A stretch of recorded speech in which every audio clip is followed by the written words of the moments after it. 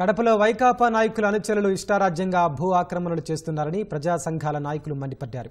Kadapa శివార్లోని railway వంతెన కింద ఉన్న బొగ్గవంక స్థలంతో పాటు సమీపంలో ఉన్న వాగు స్థలాలను డిప్యూటీ మేయర్ నిత్యానంద రెడ్డి అనుచరులు కబ్జా చేశారని ఆరోపించారు.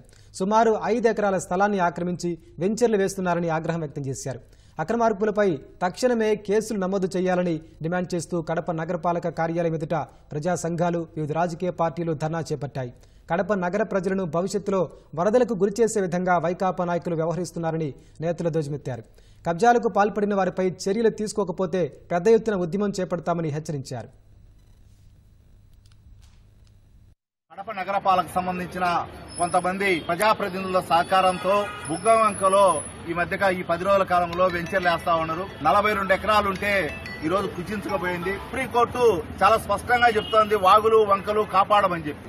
మరి ఐఏఎస్ అధికారి ఈ కడప నగరానికి కమిషనర్గా ఉన్నారు. మరి ఇక్కడ ఉన్నటువంటి విఆర్ఓలు ఇక్కడ ఉన్నటువంటి సచివాలయాలు అక్కడ ఉన్నటువంటి కార్పొరేటర్లకు తెలియకుండా ఈ వ్యవహారం జరగలేదు అని చెప్పి మేము అభిప్రాయపడతా ఉన్నాం. అక్కడ ఉన్నటువంటి యంత్రాంగానికి పూర్తి సహకారంతో ఈ కబ్జా జరిగిందని చెప్పి మేము ఒక నిర్ణయానికి వచ్చాం. కడప డిప్యూటీ మేయర్కి అండదండలతో భూమిని ఆక్యుపై చేసి మొత్తం వెంచర్ వేసి ఫ్లాట్లు వేసినటువంటి పరిస్థితి ఉంది. అక్కడ ఎప్పుడో పూర్వకాలంలో ఉన్నటువంటి రైల్వే పంపు షెట్టును పగలగొట్టి మొత్తం సదును చేసి లైన్లు వేశారు.